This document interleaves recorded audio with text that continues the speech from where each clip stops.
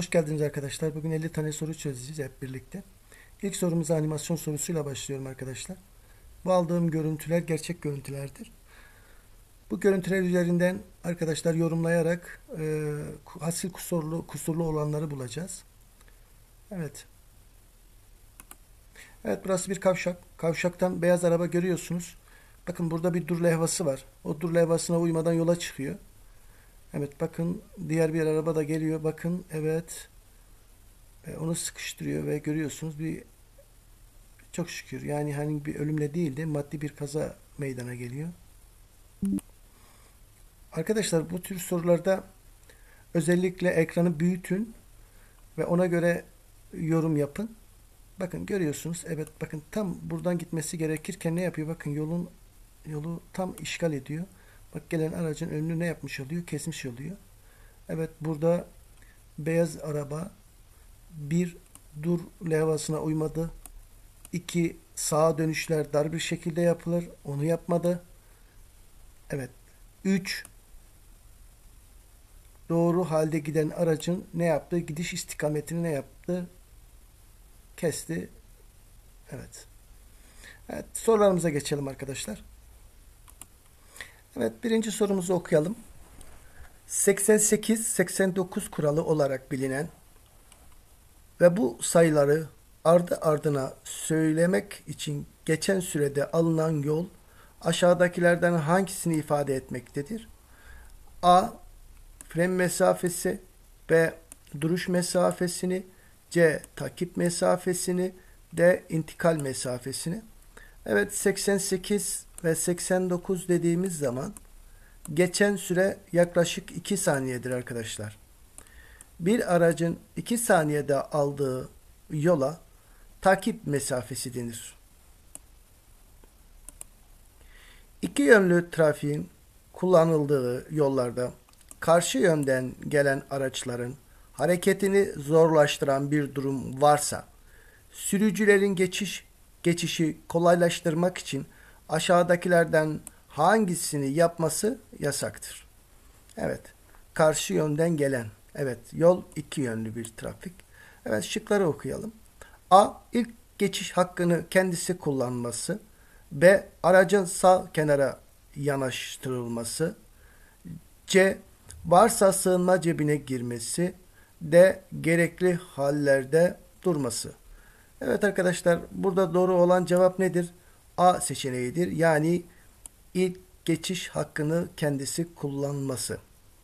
Evet diğer bir soru.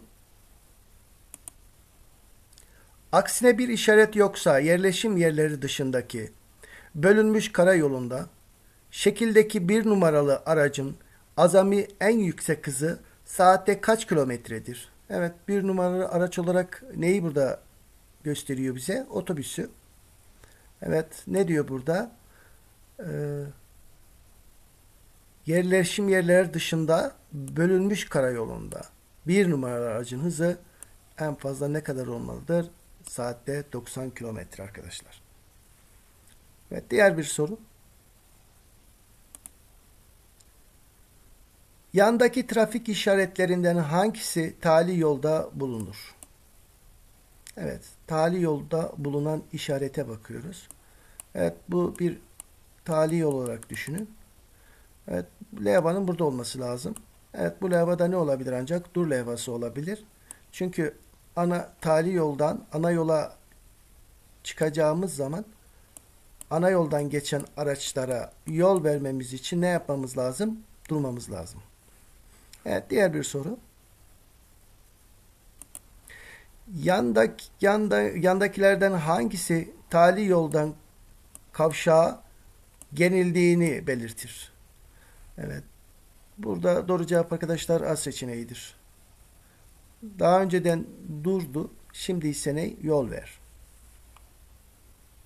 Diğer bir soru. Evet arkadaşlar çok güzel bir soru. Şekil, şekildeki kavşakta bir numaralı araç sağ. Evet bir numaralı araç nereye dönecek? Sağ.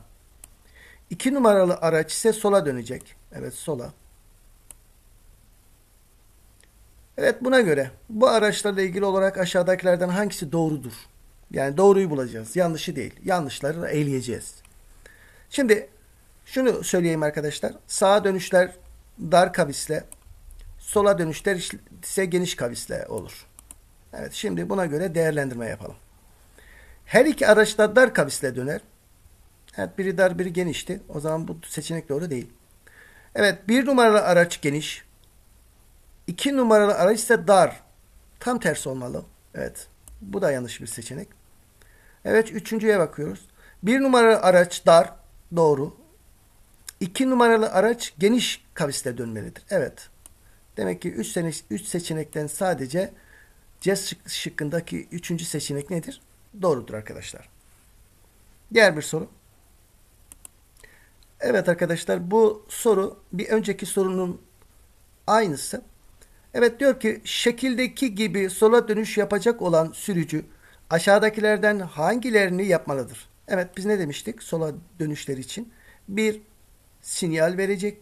iki geniş kavisle dönecek. Evet şimdi şıklara bakalım. Dönüş lambasını yakmalı. Sola dönüş. Evet doğru. Hızını azaltmalı. Evet doğru. Dar bir kavisle dönmeli. Hayır. Nasıl bir kavisle dönmeli? Geniş bir kavisle dönmeli. O zaman üçüncü şık nedir? Yanlıştır. Burada iki tane doğru şık vardır. Bir, sola dönüş lambasını yakmalı. İki, hızını azaltmalı.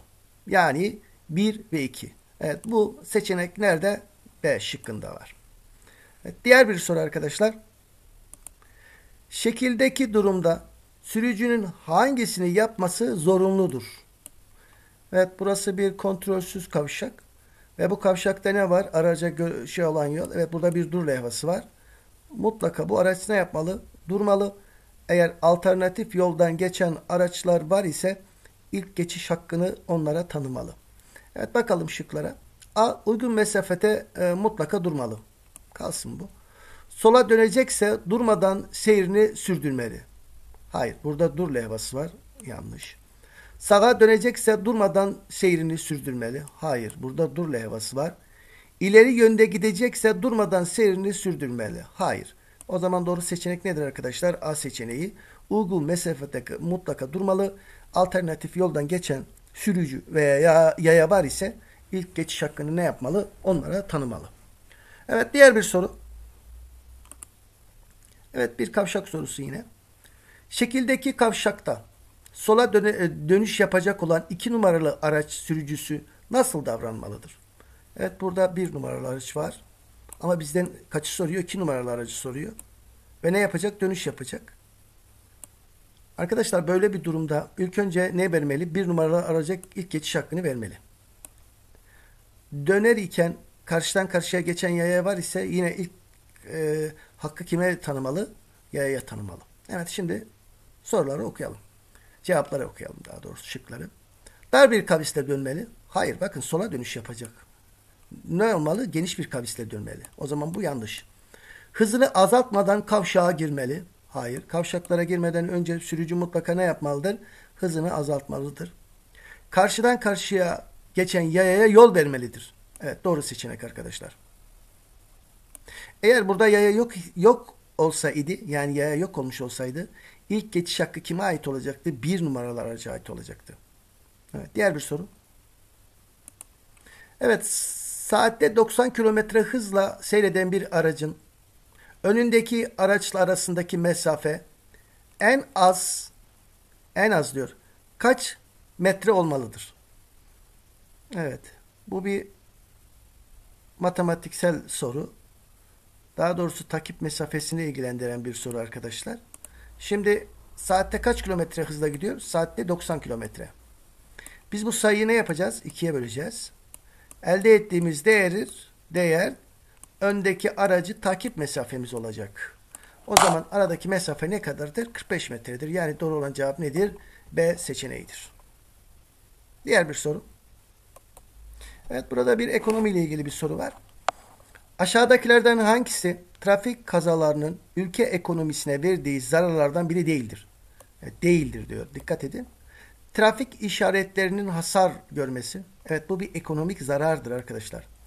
Karayollarının zamandan önce yıpranması. Bu da bir zarardır. Çünkü yıpranan karayolunu yapmak tekrar nedir? Bir e, paraya ihtiyaç vardır. Yani ekonomiyi ilgilendirir. Trafik suçlarına uygulanan cezanın arttırılması. Hayır arkadaşlar. Doğru cevap nedir? Bu seçenektir. Yani doğru cevap C seçeneği. Diğer bir soru. Arkadaşlar bir aracın taşıyabileceği, güvenle taşıyabileceği yük ve yolcu sayısına biz taşıma sınırı diyoruz arkadaşlar. Yani ya da e, azami e, taşıma sınırı diyoruz. Yani bir taşıt eğer bir otomobilde 5 tane koltuk var ve bu koltuk 5 kişilik ise bunun taşıma sınırı 5'tir.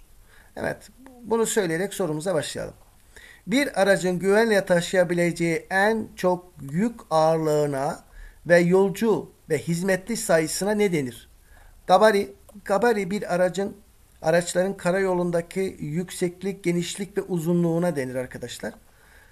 Dingil ağırlığı bir aracın bir dingilinin yola verdiği, e, aktardığı ağırlığa denir arkadaşlar.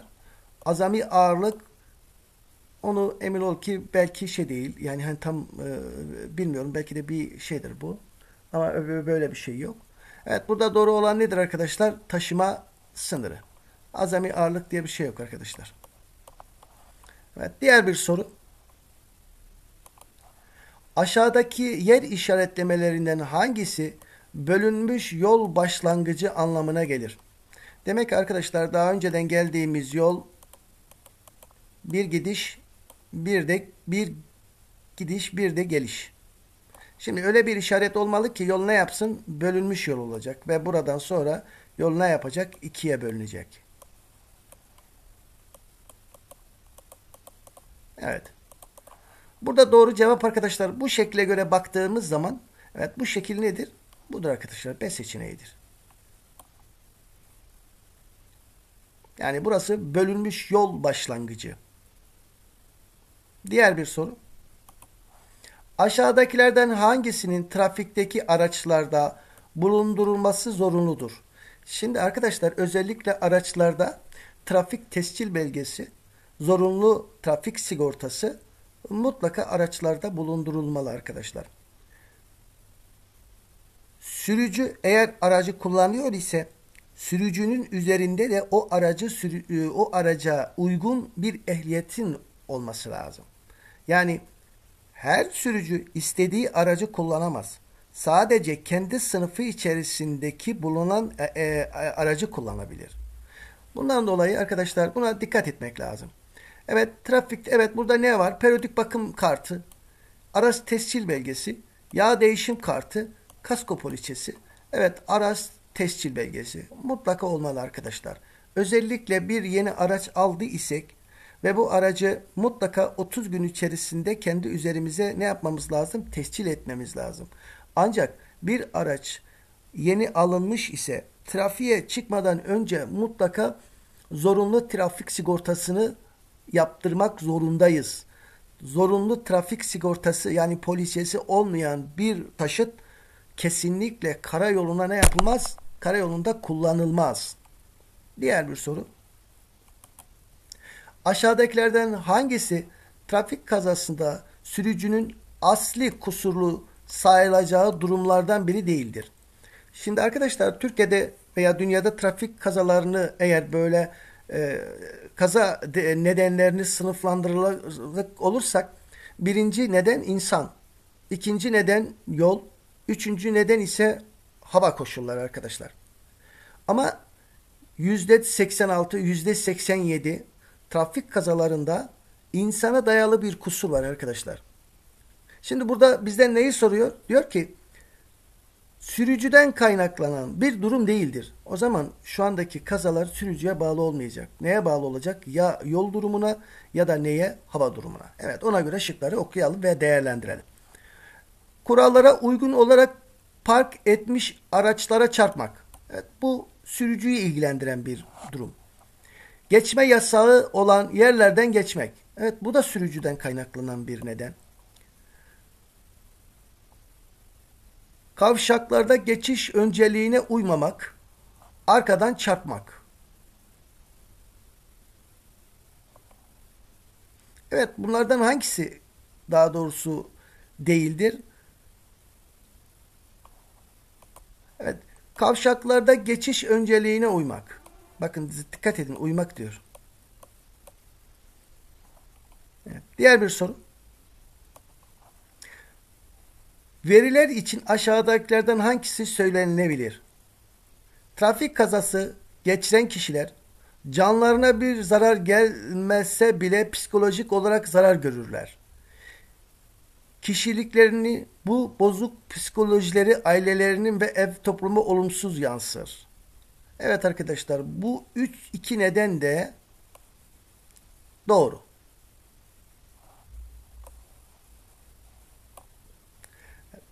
Diğer bir soru.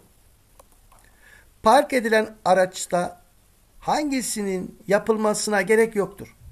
Evet aracı park ettik. Bakalım şıklardan hangisine gerek yokmuş. El freni çekilmesi gerek var arkadaşlar. Motorun durdurulmasına gerek var. Park lambalarının yakılmasına gerek yok arkadaşlar. Eğer aracımızın uzun süreli park edeceksek, park lambalarını açık bırakırsak aracımızın akümülatörü deşarj olur. Yani biter. Diğer bir soru arkadaşlar. Şekildeki karayolunda bir numaralı araç sürücüsünün aşağıdakilerden hangisini yapması yanlıştır? Evet yola bir bakalım. Yol ne? Bir gidiş, bir gidiş, bir de ne? Geliş. Evet. Bulunduğu şeritte seyretmesi yanlış değildir. Doğrudur. Geçme sırasında hızını arttırması, yol müsait ise öndeki e, aracı sollayarak geçmesi, yol müsait değilse öndeki aracın sağından geçmesi. Evet arkadaşlar. Doğru cevap D seçeneği. Çünkü bir aracın sağından geçilmez. Neresinden geçilir? Solundan geçilir. Aslında yol çizgisi buna ne yapmış? İzin vermiş. Eğer sürücü bir aracın şu durumdayken aracın sağından geçerse ne yapmış olur? Kural ihlali yapmış olur arkadaşlar. Diğer bir soru. Aşağıdaki durumların hangisinde aracın kurallara uygun olarak durdurulması ve kontağın kapatılmasını gerektirir? Evet. Ne diyor burada? Durdurulması ve kontağın kapatılması. Demek araç ne halinde? Hareket halinde. Evet. Gösterge panelinde cam rezistans lambasının yanması. Hayır. Araçta yak, araçtan yanık kablo kokusunun gelmesi. Evet, bu kalsın bir yerde. Klimanın yeteri kadar serinletmemesi. Hayır. Çok büyük bir problem değil. Araç yakıtının azalması. Bu da bir problem değil. Ama bu çok büyük bir problem arkadaşlar. Evet. Araçtan yanık kablo kokusunun gelmesi aracı durdurulup kontağının kapatılması gerektiren durumlardan bir tanesidir arkadaşlar. Diğer bir soruya geçelim. Aşağıdakilerden hangisi buji ile ateşlemeli motorların yakıtıdır? Evet buji. Arkadaşlar buji benzinli araçlarda ve LPG'li araçlarda kullanılan bir parçadır. Görevi ise sıkıştırılmış olan benzin ile havayı ya da yakıt ile havanın tutuşturulabilmesi için gerekli olan kıvılcımı üretmek. O zaman burada buji gördüğümüz zaman aklımıza ne gelecek? Ya benzin ya da LPG. Evet şıklara bakıyoruz. Benzin, motorin, antifriz, gaz yağı. Evet doğru olan şık nedir arkadaşlar? A seçeneğidir. Evet diğer bir soruya geçiyoruz. AB, ABS fren sisteminin avantajlarından biri aşağıdakilerden hangisidir? Arkadaşlar ABS fren sistemi eski nesil araçlarda yok. Yeni nesil araçlarda var. Ve her araçta bulunmaz. Araçtaki insan ve yük oranı arttıkça araçlardaki fren e, çeşitleri de artar. ABS fren sistemi başlı başına bir fren sistemi değil. Sadece fren sistemine uygulanmış yardımcı bir sistemdir. Evet bunun görevi nedir? Duruş mesafesini kıs kısaltır. Direksiyon hakimiyeti kazandırır. Aracın savrulmasını engeller. Bundan ötürü tüm araçlarda bulunmasını isterim. Evet. Bir kalkışta patinajı önler. B. Debriyajın kolay ayrılmasını sağlar. C. Frenleme sırasında tekerleklerini kilitler. Frenleme anında direksiyon hakimiyetini arttırır. Evet, direksiyon hakimiyetini arttırır. Bakın burada tekerlekleri kilitler diyor ya. Hayır. ABS fren sistemi tekerlekleri kilitlemez. Kademeli olarak aracın durmasını sağlar. Ve bu durma e, direksiyon hakimiyetini ne yapar? Arttırır. Evet, diğer bir soru. Aracın gösterge panelinde şekildeki uyarı lambasının yanıyorsa, yanıyor olması neyi bildirir?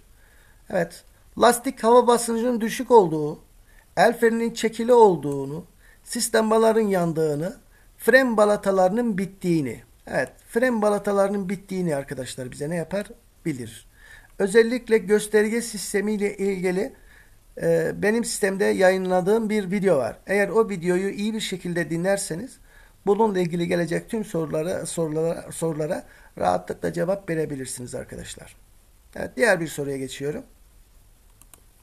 Aracın gösterge panelinde bulunan şekildeki ikaz ışığının motor çalışmaya başladığında ya da seyir sırasında yanıyor olması sürücüye neyi bildirir? Bakın arkadaşlar bu lamba yandı ya. Bu yağ lambasıdır.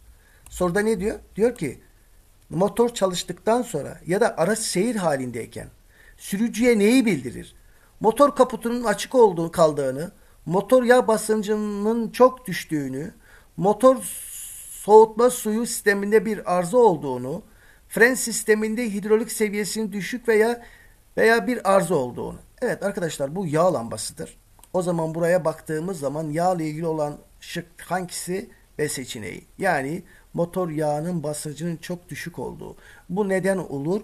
Özellikle taşıtlarda motor motor yağı eksilirse ve bu eksilmeyi bize ne yapar hemen? Yağ ikaz lambası uyarır. Evet, diğer bir soruya geçiyorum arkadaşlar. Evet günümüzde tasarrufla ilgili olan bir şey. Malum yakıt fiyatları gerçekten şu anda çok yüksek e, rakamlarda. Araç kullanırken özellikle e, yani yakıt tasarrufu yapmak için elimizden gelen tüm çabayı gösteriyoruz arkadaşlar ve göstermeliyiz de.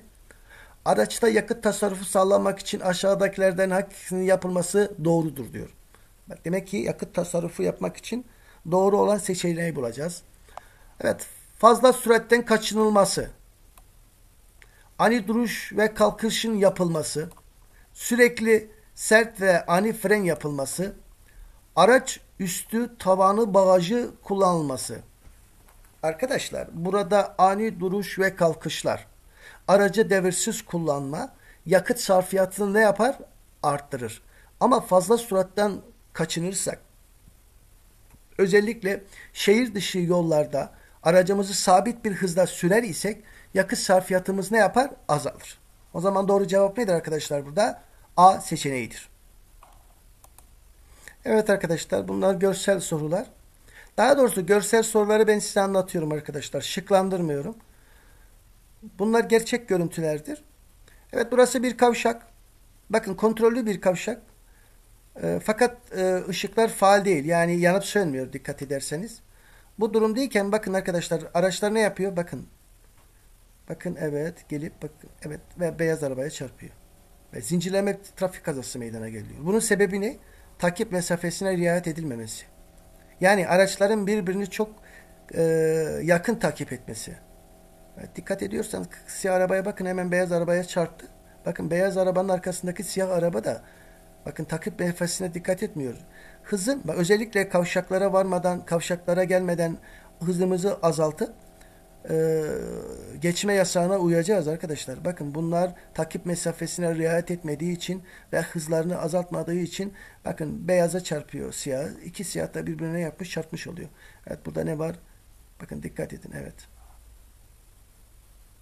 Ben burada ışıkları göremiyorum. Ama buradaki trafik kazasının en büyük sebebi takip mesafelerine riayet etmemeleridir arkadaşlar. Evet, diğer bir soruya geçiyorum. Evet yukarıdaki belirtiler hangi bölge yaralanmalarında çok görülür? Evet geçici, geçici hafıza kaybı, burundan kan gelmesi, göz bebeklerinin göz bebeklerinde fark, e, büyüklük farkı. Evet arkadaşlar burada bu üç şeyde başla ilgili e, bölge yaralanmalarında arkadaşlar bunlar gözükür. Evet burada doğru cevap C seçeneğidir arkadaşlar. Akciğer. Diğer bir soru arkadaşlar. Derin yaralanmaya sebep olan batıcı cisim yara üzerinde duruyorsa aşağıdakilerden hangisi uygulanır? A. Cisim çıkartılır ve yaraya tentürdiyot dökülür. B. Cisim dışarıda kalan kısmı cilt hizasından kesilir veya ve yara sıkı sarılır. C. Cisim çıkarılmadan tespiti yapılır ve yaralı hastaneye sevk edilir. D. Cisim çıkartılır ve yaralı hastaneye sevk edilir. Evet doğru seçenek arkadaşlar C seçeneğidir. Cisim çıkarılmadan tespiti yapılır ve yaralı hastaneye ne yapılır? Sevk edilir. Eğer e, çok ciddi bir şey ise mutlaka o nesne ne yapılmalıdır? Desteklenmelidir. Beyin insan vücudundaki hangi sistemin bir parçasıdır? A. Dolaşım sisteminin B. Sindirim sisteminin C. Hareket sisteminin D. Sindir, sinir sisteminin. Evet doğru cevap nedir arkadaşlar? Sinir sisteminin nesidir? Bir e, parçasıdır. Diğer bir soru. Kalbin yeniden çalışması için yapılan girişime ne ad verilir? A. Kalp krizi B. Kalp masajı C. Kalp spazmı D. Göğüs ağrısı. Şimdi kalbi ne yapıyor? Yeniden çalışmasını. Evet yapacağı şey değil. Nedir? Kalp masajıdır arkadaşlar. Diğer bir soru. Aşağıdakilerden hangisi ilk yardımın öncelikli amaçlarındandır? İlk yardımın öncelikli amaçlarındandır. Trafikteki kaza sayısını azaltmak, sağlık personellerinin mesleki başarısını arttırmak, insanları zararlı alışkanlıklarından uzaklaştırmak, yaşamsal fonksiyonların sürdürülmesini sağlamak. Evet doğru seçenek nedir arkadaşlar? D seçeneğidir.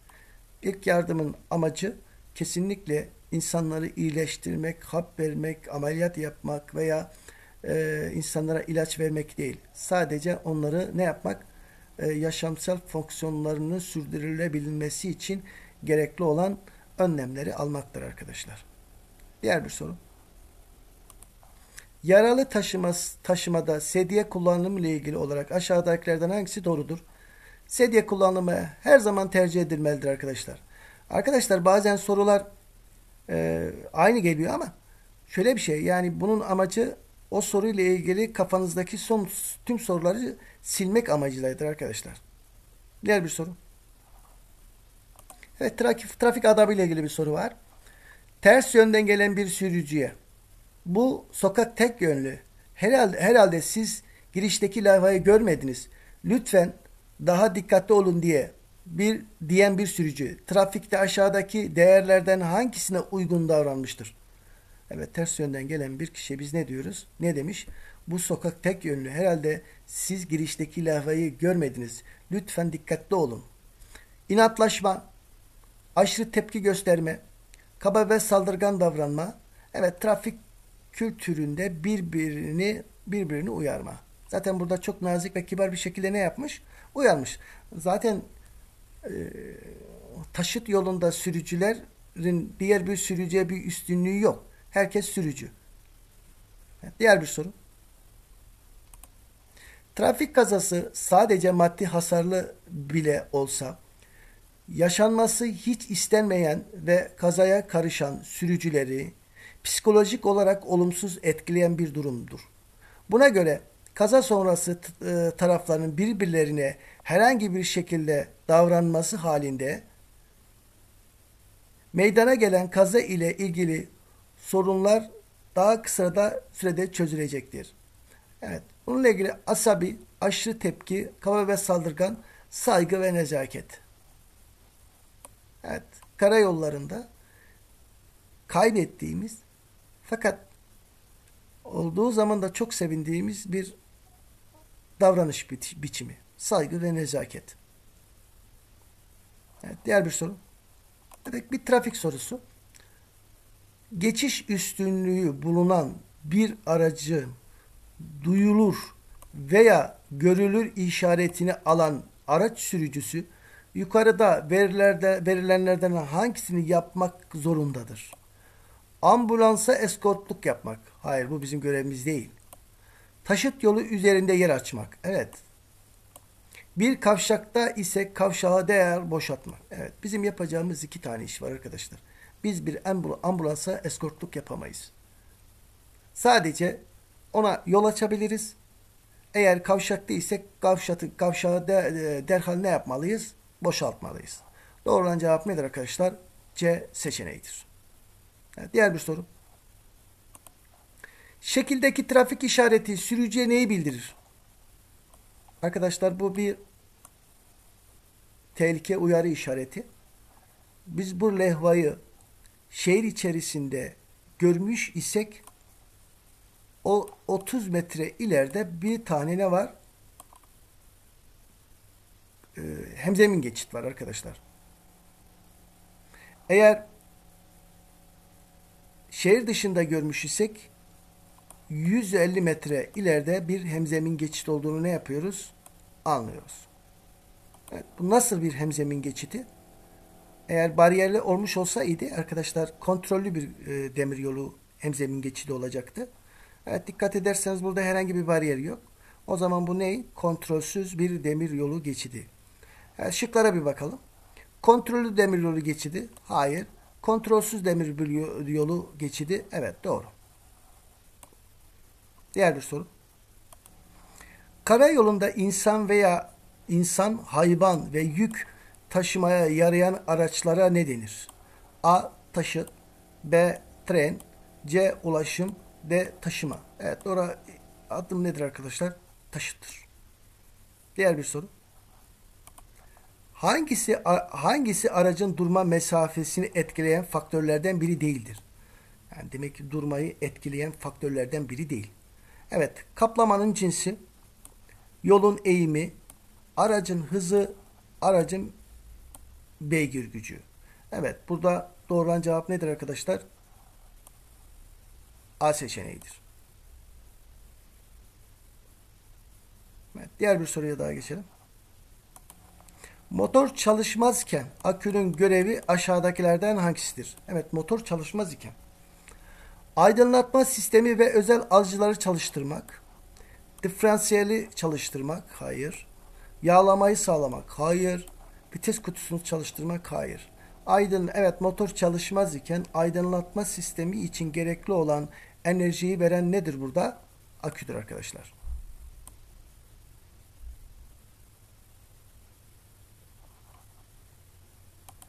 Evet arkadaşlar bir videonun daha sonuna geldik. Hepinize çok teşekkür ediyorum beni dinlediğiniz için. Eğer bana destek vermek istiyorsanız arkadaşlar videomu beğenmeyi unutmayın. Şimdiden gireceğiniz sınavlarda sizlere başarılar diliyorum arkadaşlar. Hoşçakalın.